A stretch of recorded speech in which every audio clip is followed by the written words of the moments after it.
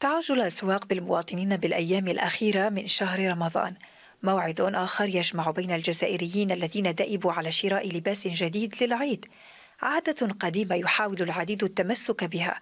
تفضل النساء شراء جبة تقليدية مثلا حتى تستقبل الضيوف صبيحة العيد. تقول التقاليد إن اللباس الجديد فال حسن قد يجلب الخير. كل عام يشرو حاجة جديدة. نديروا الفال حنا من زمان من زمان من جدود من جدود زمان.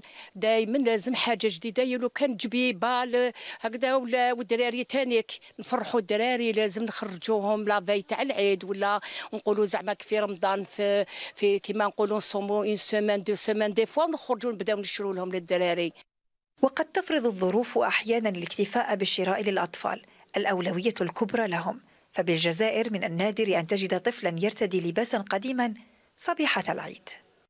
ولأن العيد للجميع يحاول بعض الناشطون تأمين ملابس العيد للفقراء والمحتاجين.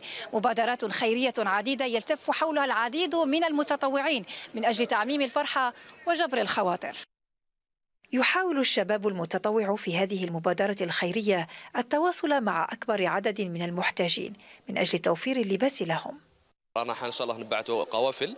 donc نبعثوا حوايج لولايات الوطن. آه هادو بشراكة مع الجمعيات اللي نعرفوهم اللي موافقين نخدموا معاهم في كامل ربوع الوطن. donc إن شاء الله كيما الآن راح نبعثوا لثلاث ولايات. خيرنا لهم حنا فيك ما يقدروش يجوا للأسف. donc خيرنا لهم أفضل واش عندنا؟ آه على حساب التنسيق كيفاش يجوا الحوايج صبابط مع تريكوات مع سراويل. دونك إن شاء الله يعجبوهم حنبعثوهم في هذه الأحيان. إن شاء الله يلحقوا منا غدوة إن شاء الله.